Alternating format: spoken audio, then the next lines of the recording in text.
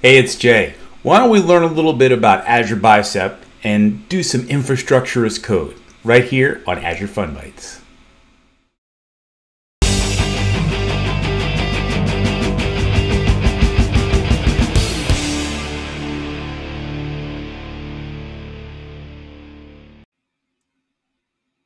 Hey everybody, it's Jay. Well, you know, I've been playing around with a lot of the really cool tools that help me build things with Azure.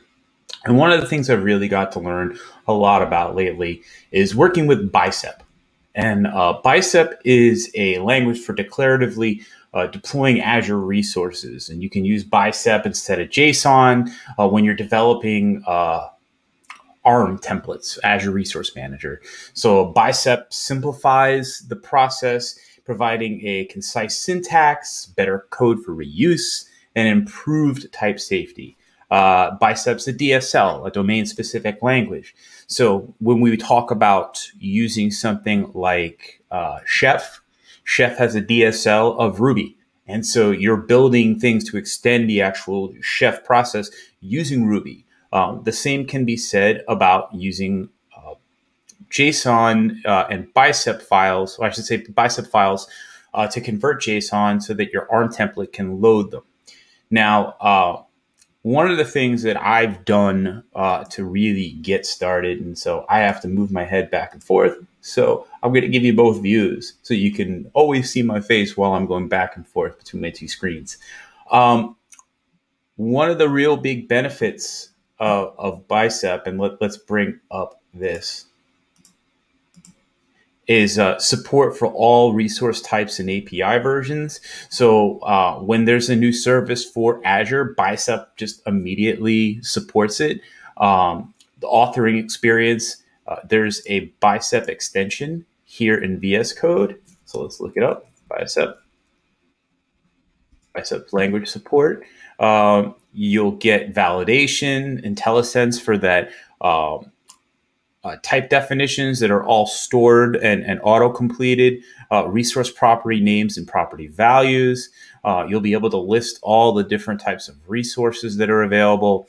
Um, there's, there's of course the auto completions and then snippets uh, that you uh, can use that you can show up where they're valid. Code navigation, you can use Peek so you can look at um, the, the, those parts of your code that you want to take a specific look at, references within Peek, um, the outline view, the breadcrumb view, uh, highlight, so you can see highlights of specific symbols, uh, refactoring, so you can uh, use the rename symbol such as parameter resource and Bicep will intelligent re rename all of that formatting.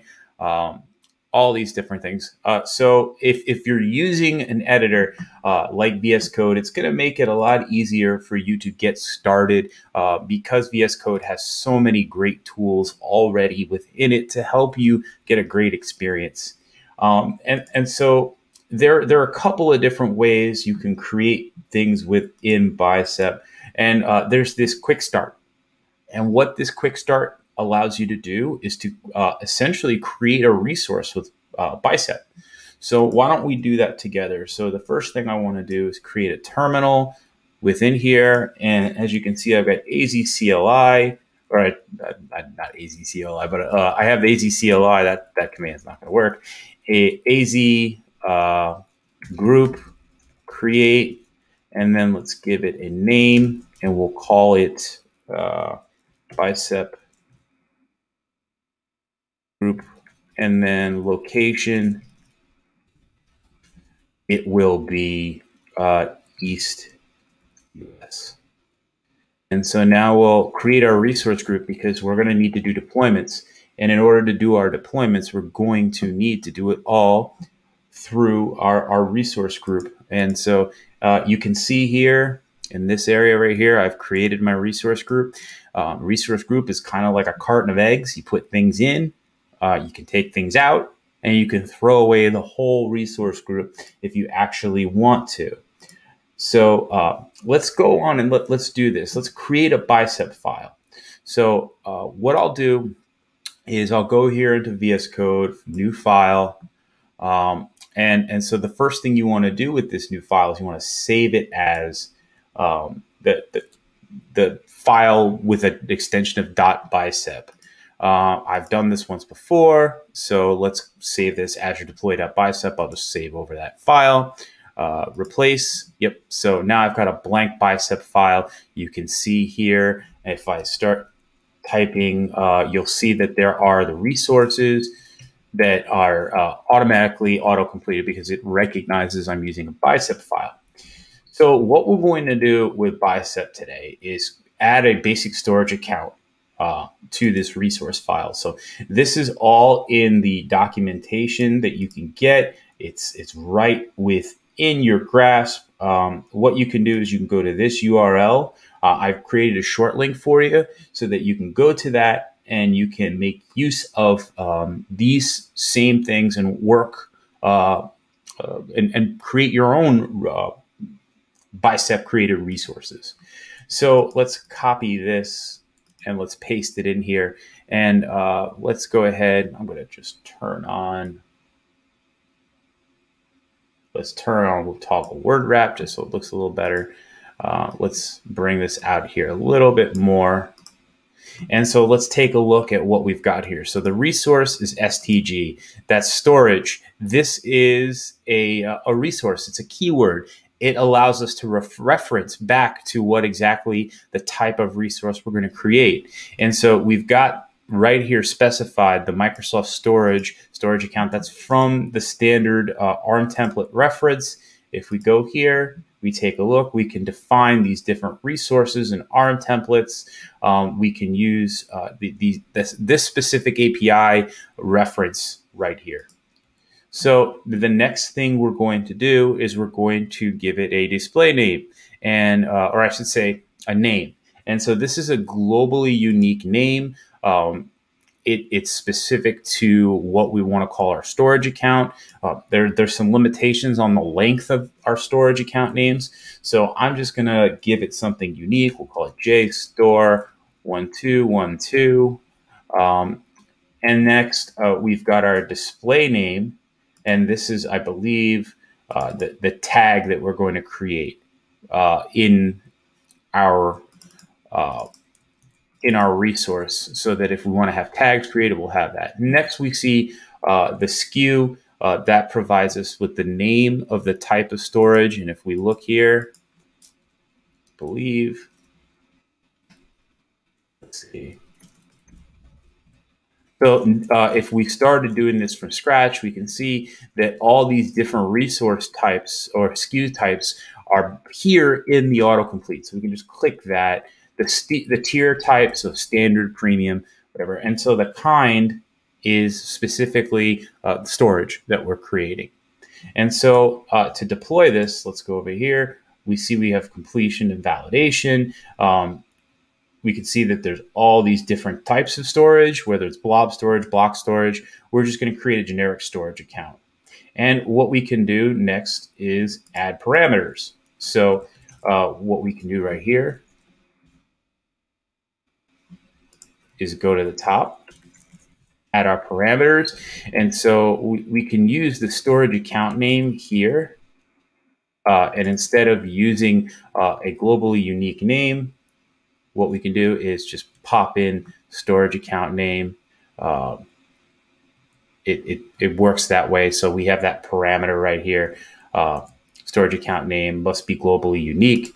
Uh, and, and so what we're going to do here is next deploy it. So let's save this file. Okay. And so now we've got, let's just take this out here. Don't need that. Uh, we've got our tag. And actually what we can do is have our tag match storage account name. So we've got that there. Yep. And, and all the other things are still the same. Uh, this is just about the length of the actual storage account name. It's three or 24. Uh, the minimum is three characters. The max is 24. And so now what we're going to do is actually deploy this bicep file. So what I'm going to do is just going to open up this for Scratchpad, and we're going to use the Azure uh, command line interface. And so I'll, I'll just copy this, and, and you can see here, let me just turn on word wrap again. Um, you can use um, PowerShell as well. So if you have the PowerShell Azure CLI uh, module installed, you'll be able to do that. Um, but we're going to just use Azure CLI. I like it the best. It's my favorite. It's bash friendly, and I'm a bash nerd. So what we've got here is Azure deployment group. So this is essentially telling Azure that I want to create a deployment group. And uh, within that, I'm going to do it in our specific uh, resource group. So we called it bicep group. So I'll just change this here. Uh, the template file, uh, let's go into where I've created. So, desktop, I've put it in CD desktop, um, and and I believe it's uh, Bicep Stream. Yep, and you'll see I've got Azure deploy.bicep. Um, and, and now we can specify the template file. Uh, the location will be relative to where you actually uh, run the AZ CLI deployment from. So if you've got it in, say, uh, you're running it from another directory and you want to specify, you know, desktop or something like that, you can do that. But we're going to be running it right from the directory. And so now here we have uh, parameters that we can set. And in this case, let's go back to the file. You can see uh, right here our parameter that we need to have uh, specified as the storage account name. So let's specify um, a, a, unique name. And so it'll be J store 1212. Save that. Uh, we don't need to save it. This is just scratch. So we're going to just copy this. And so what will happen if we go ahead and hit enter after we've copied and pasted in is that uh, Azure deployment is going to start happening. Um, this is going to get sent. Let's see the template deployment, uh, not a valid storage account name. Okay, so that's not a problem. It's just something with the name of my account. So JSTOR edge bicep. Let's try that. Okay, so what's going to happen is this should be sending everything to Azure Research. Let's see, storage account name is not a valid storage account name. Okay, let's see what we've got. So there's something here that we did wrong. Param storage account name string. Okay, let's go back. Let's take a look.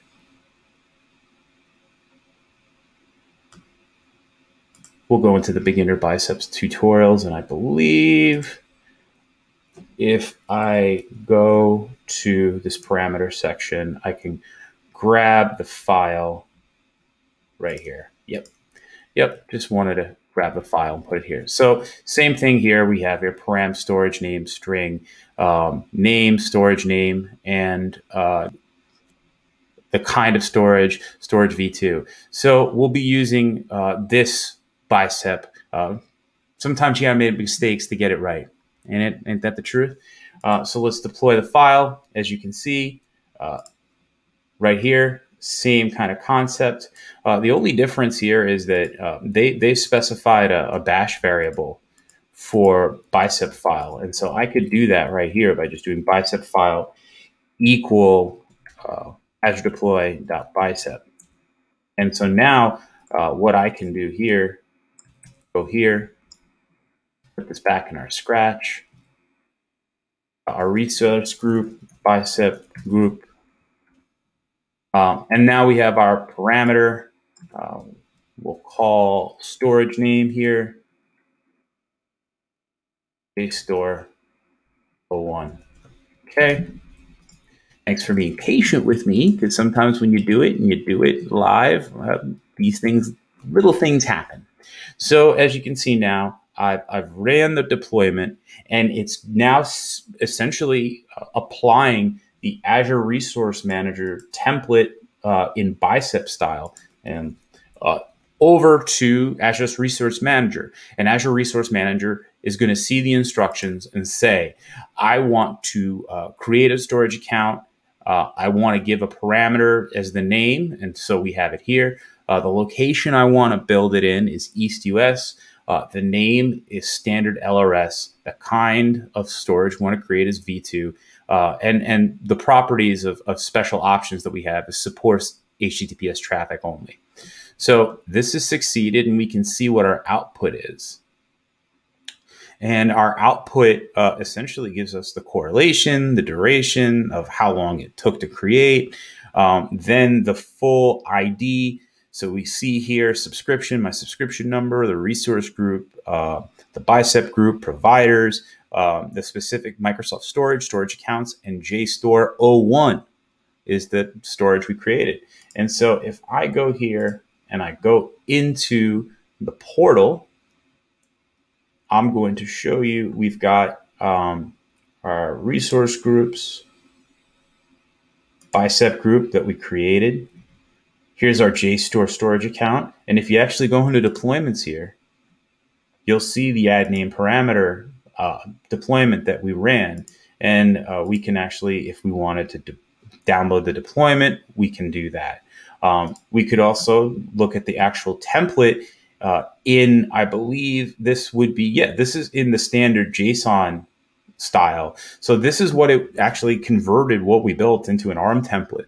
So we have the two to compare. So we created a storage account together. Uh, we used Azure Bicep. We win through using the actual uh, extension within VS Code. This is a real simple uh, getting started. Uh, there are more advanced things that you can use. Uh, one of the great places that you can get started in to see uh, a lot of the different types of um, templates that exist, which I think you'll like, is the uh, Bicep Playground. And let me bring that up for you real quick before we finish. Uh, the Bicep Playground, it actually gives you uh, comparisons between the sample templates that are created in our quick starts. So here we have uh, what a hello world looks like in a, uh, a standard JSON ARM template, and then it converts it over here to um, the bicep format. So that that's pretty much it. Um, so let's let's remind each other. You can check out um, the bicep documentation. Uh, I, it's uh, go ahead and check out this URL. Uh, I really recommend you watch this video with Brendan Burns. It's really interesting. It gives you some of the reasons why and how, um, and and then run through these tutorials. I think that they're really uh, great for you to use to learn. So uh, that that's it for me. Uh, you can always keep your eyes on Azure Fun Bytes. Uh, Azure Fun Bytes every Thursday, 2 p.m. on the East Coast, 11 a.m. Pacific. Uh, give us a show, uh, a, a, view, uh, give me a shout. Let me know what you think of this video. Thanks again, and I'll see you next time.